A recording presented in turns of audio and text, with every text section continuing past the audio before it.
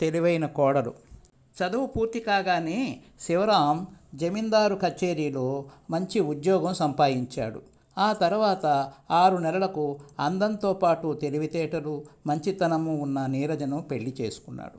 తల్లి అనసూయమ్మకు కట్న కానుకలు తేలేదని కోడలిపై కోపంగా ఉండేది. కానీ ఇంటికి వచ్చిన బంధువులతోనూ ఇరుగు పొరుగు వాళ్ళతోనూ మాత్రం తను కానీ కట్నం లేకుండా కొడుక్కు ఎంతో ఆదర్శప్రాయంగా పెళ్ళి చేశానని గొప్పలు చెప్పుకునేది.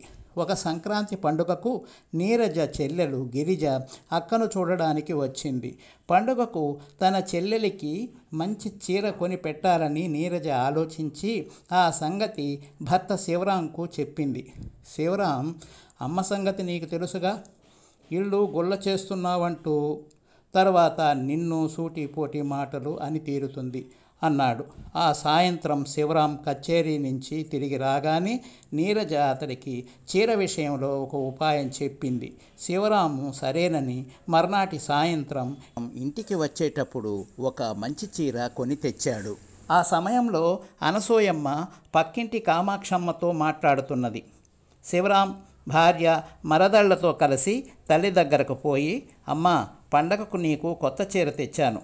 నీరజ పెళ్ళిలో తనకు అమ్మ వాళ్ళు పెట్టిన చీరల్లో ఒక కొత్త చీర ఉన్నదట. అది కట్టుకుంటుంది అన్నాడు. అనసూయమ్మ ఏదో అనబోయేంతలో కామాక్షమ్మ కల్పించుకొని వదిన కొడుకంటే ఇలా ఉండాలి.